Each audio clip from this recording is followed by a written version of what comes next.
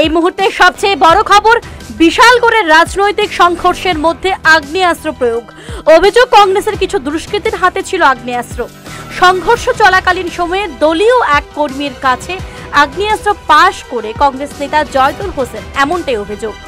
এমন এক ভিডিও ইতিমধ্যে উঠে এসেছে সামনে। রাজনৈতিক মহলে শুরু হয়েছে জোর জল্পনা।